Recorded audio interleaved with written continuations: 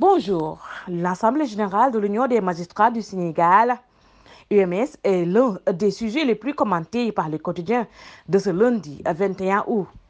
Personne n'est au-dessous de la loi. Il n'est permis à aucun justiciable de guider l'action judiciaire en imposant aux juges quelconque décision. Note critique en citant le président de l'UMS, Ousmane Chimer Diouf. La perception que les citoyens ont de la justice a beaucoup évolué, ajoute Moussé Diouf qui a été réélu président de l'UMS. L'Union des magistrats du Sénégal se défend des nombreuses arrestations survenues au cours des derniers mois en arguant selon Tribune qu'aucun magistrat n'est à l'origine des faits reprochés aux citoyens devant être jugés par ses membres. Lors de l'Assemblée générale, les magistrats et le garde des Sceaux Ismaël Amadou Fall ont discuté de l'arrestation de l'opposant Ousmane Sonko. Selon Bosby le jour, je loue le courage et la sérénité des magistrats, a dit Moussé Fall en parlant de ceux d'entre eux ayant eu à juger des leaders politiques. La faillite des politiques d'emploi, nous ne devons pas entrer dans le jeu politique. La justice doit se limiter à, réguler la société. Rapporte Bosby le jour en citant le président de l'UMS. La justice solde ses comptes. Titre enquête que le ministre de la Justice est revenu sur les critères d'affectation et de nomination des magistrats qui sont fortement décriés. Il est temps que des critères clairs et objectifs soient définis pour avoir une meilleure lisibilité de l'évolution de nos carrières. Le bureau de l'UMS invite les membres du Conseil supérieur de la magistrature à jouer pleinement le rôle et à veiller à ce qu'aucun magistrat ne soit affecté à la suite d'une décision rendue en toute indépendance, écrit enquête en citant Ousmane Chimer Diouf.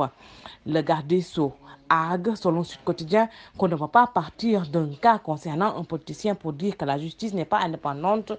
Le président de l'UMS, lui cité par le même journal, estime que la justice doit éviter de jouer un rôle actif dans un permanent jeu politique fait d'instabilité et de polémique en se limitant à réguler la société.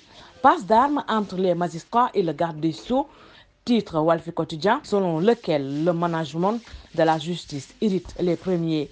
Pour la première fois lors de l'Assemblée générale tenue ce week-end à Sali Portudal, le président de l'Union des magistrats du Sénégal aborde en public la question des affectations par consultation à domicile. Selon lui, cette pratique qui viole le fonctionnement du Conseil supérieur de la magistrature et le statut des magistrats est de plus en plus contesté par ses collègues, note Wolf Quotidien. En premier acte de la revendication de l'UMS, le ministre de la Justice lui oppose le refus de certains magistrats de servir à l'intérieur du pays et les demandes pressantes introduites par des voies officieuses, ajoute le même journal. Concernant les autres sujets, Wolf Quotidien estime que la faillite des politiques d'emploi est à l'origine de la recrudescence de la migration irrégulière. Ils n'ont plus foi aux dirigeants et à leur politique d'emploi, affirme le journal en parlant des migrants essayant de se rendre en Europe à l'aide de pirogues. La raison et le réalisme politique. L'observateur relaie la déclaration de candidature à l'élection présidentielle de l'homme d'affaires et maire de Kaolak. Serine Boup, gérer un État est plus facile que gérer une entreprise, soutient Moussi Boup.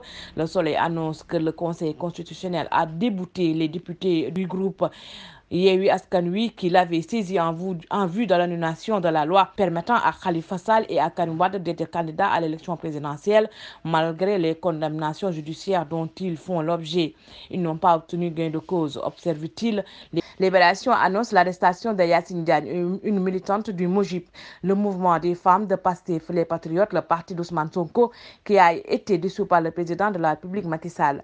Arrêté pour association de malfaiteurs en relation avec une entreprise Madame Diagne a été placée en garde à vue selon le même journal. Le journal Info déclare que le chef de l'État a déjà coché le nom d'Amoudouba parmi les dizaines de candidats à la candidature de Benobo Keyaka à l'élection présidentielle de 2024. Un choix qui lui sera dicté par la raison du réalisme politique, commente le journal. Bonne lecture.